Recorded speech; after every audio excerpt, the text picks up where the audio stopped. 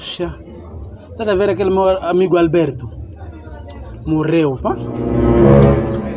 Qual foi a causa da morte? Suicídio. Epa! Essa doença, essa, quando atinge nos órgãos, não tem mais cura. Bia, é suicídio, não doença. Mas medicava?